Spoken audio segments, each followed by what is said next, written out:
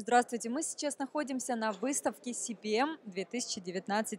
Ольга, здравствуйте. Расскажите, пожалуйста, чем вы занимаетесь, какую компанию представляете?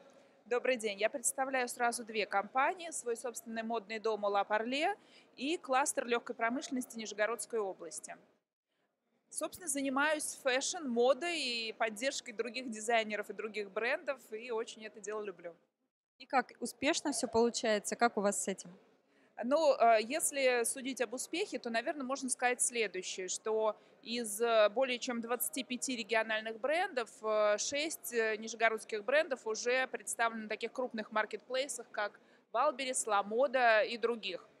Это, конечно, говорит об определенном уровне развития, потому что, как правило, для этого требуются уже и такие позиции, как регистрация, государственная регистрация товарного знака, и наличие всех деклараций и сертификатов, и достаточно крупные партии, в которых должен производиться товар.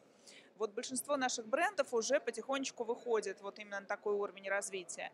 А, очень приятно, что а, достаточно часто удается встретить на улицах в своей одежде совершенно незнакомых людей. Это такое отдельное удовольствие, и происходит это действительно часто.